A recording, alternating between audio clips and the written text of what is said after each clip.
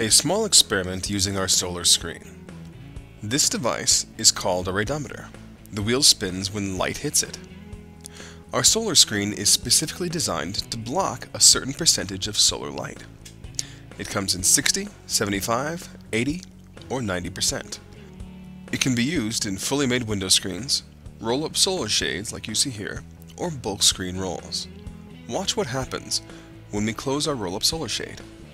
This shade is 90%.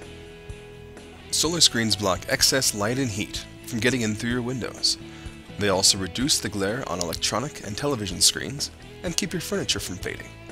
If our solar screen can make this much of a difference on a radiometer in this short amount of time, imagine what it can do in your home.